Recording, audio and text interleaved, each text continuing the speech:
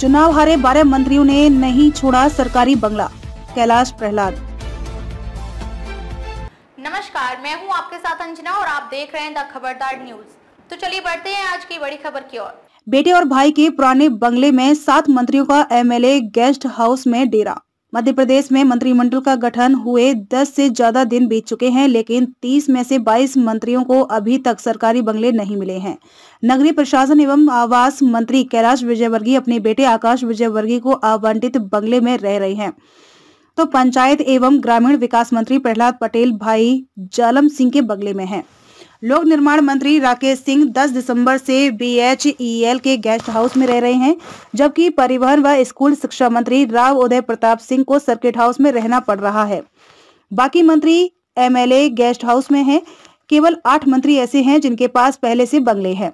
दरअसल मंत्रियों को बंगले अलॉट करने को लेकर गृह विभाग के सामने धर्म संकट है। शिवराज सरकार के बारह मंत्री चुनाव हार गए हैं, लेकिन अभी तक उन्होंने बंगले खाली नहीं किए हैं।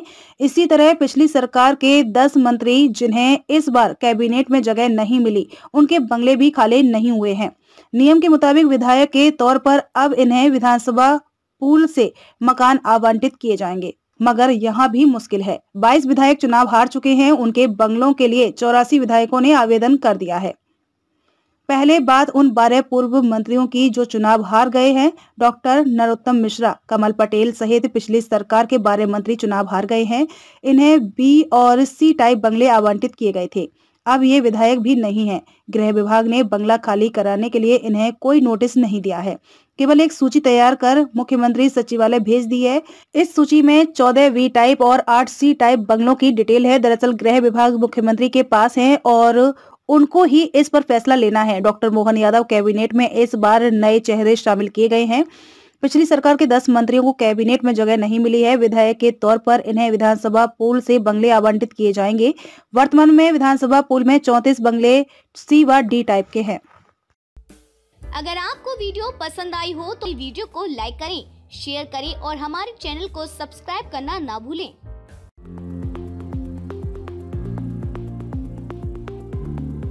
अपने सपनों का घर बना रहे हैं। एपी कंस्ट्रक्शन सॉल्यूशंस आपके लिए तैयार है।